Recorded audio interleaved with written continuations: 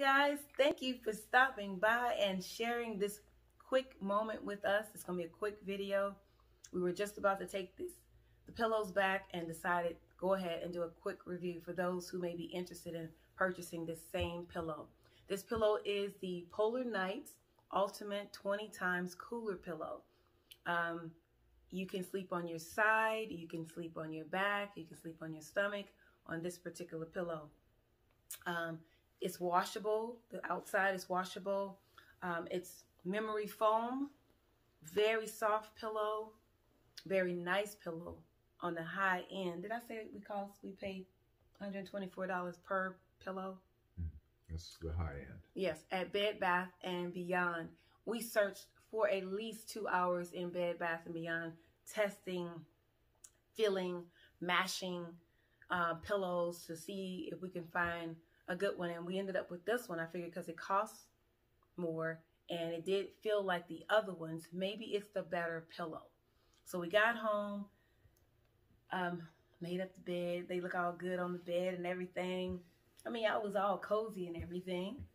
And I'll let Andre share what he thinks. Yeah, I, I had been having problems with my sleep, so I thought, oh, a better pillow might help. Mm-hmm. Um, I tried this. I slept on my back, my side, and into the night I got really a crook in my neck. It didn't feel good at all, and I had to exchange it for my old pillow. Exactly. Which was better. So right, and same with me. We did get a memory foam topper as well, and that may have added the great.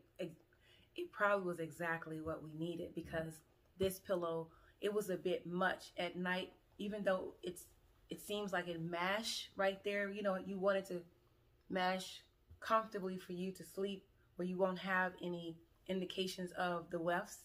Well, I had a crick in my neck as well. It was like I just woke up and I was like, you know what, I can't do this anymore. So we both exchanged our pillows in the middle of the night for the old pillows and um, haven't had any more problems.